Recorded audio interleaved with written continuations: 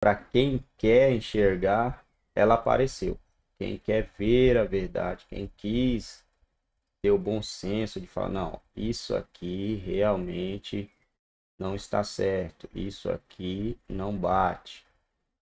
Isso eu estou falando para o pessoal do, do lado de lá, né? Eu, o pessoal de direita aí já, já meio que acreditava nisso desde o início. Porque quando você tenta a todo momento se esquivar de alguma coisa, é porque está com medo de ser atingido, né? É, tentaram barrar a CPI, tentaram comprar com emendas, tentaram isso, tentaram um monte de coisa.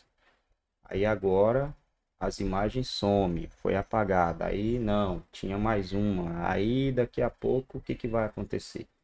Se fosse qualquer pessoa do outro lado da, da ponte, é, já estaria preso. Com toda certeza, preventivamente, aquelas coisas que eles costumam falar, né? Olha, prisão preventiva é para não tentar criar provas, para não tentar isso, para não aquilo. Mas tá aí, né? Tudo aí para quem quiser enxergar o que aconteceu e o que está acontecendo lá dentro. A gente espera que a justiça seja feita, mas é difícil.